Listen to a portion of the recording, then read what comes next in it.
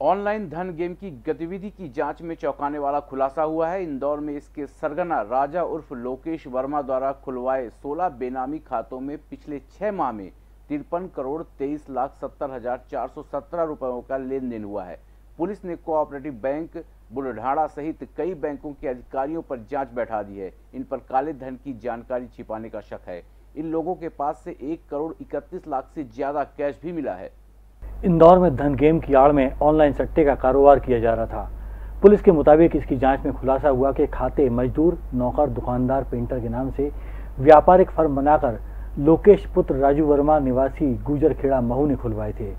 Police ने जब 16 खातों की छानबीन की तो पता चला कि इनमें पिछले छह महीने के भीतर तिरपन करोड़ चौंतीस लाख से ज़्यादा रुपयों का लेन देन हुआ है। कई खाते ऐसे भी हैं जिसमें एक दिन में सौ से ज़्यादा एंट्री हुई है। बैंक अधिकारियों ने संदिग्ध मानते हुए कुछ खातों को लॉक किया, लेकिन बाद में लेन देन भी शुरू करवा दिया।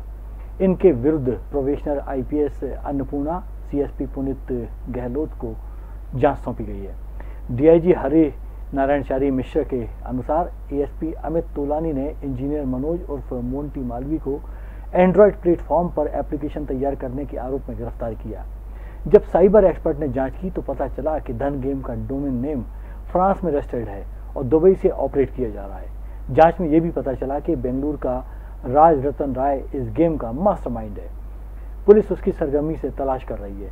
ये गैंग महू व इंदौर के गरीब मजदूर वर्ग के लोगों को दुकान खुलवाने का लोन दिलवाने के नाम से उनके आधार कार्ड, पैन कार्ड मंगवाकर गुमाश्ता बनवाता था। उसके बाद अलग अलग बैंकों में गरीब मजदूरों के नाम से व्यापारी फर्म बनाकर बैंक में करंट अकाउंट खुलवाया जाता था, जिसमें ऑनलाइन सट्टे के पैसे इन खातों में बड़ी मात्रा में जमा होते थे।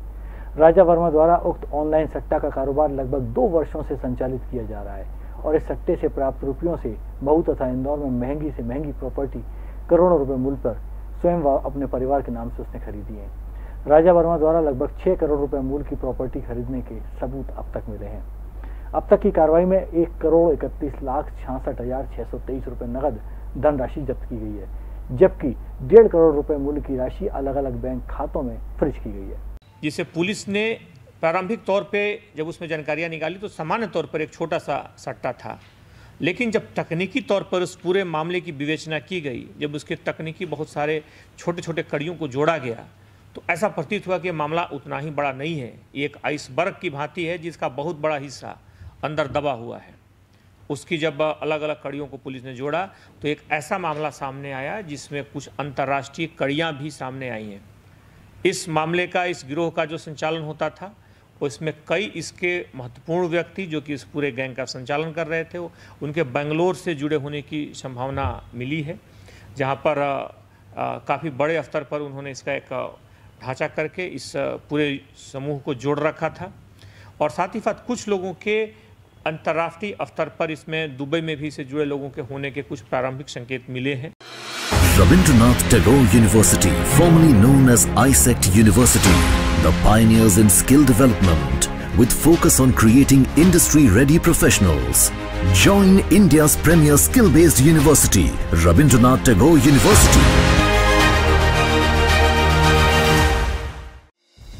संगीत की स्वर लहरियों से सांस्कृतिक ताने बाने तक चंबल के पीड़ों से नक्सलवादियों के गढ़ तक झोपड़ी से महलों तक ठेलों से मेलों तक पगडंडियों से सड़कों तक गाँव से शहरों तक व्यापार से उद्योगों तक। राजनीति से कूटनीति तक। दखन न्यूज़।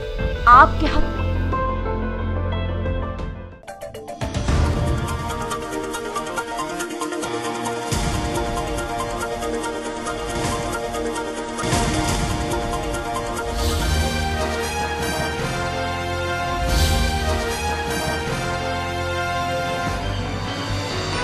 आप देख रहे हैं दखल न्यूज़।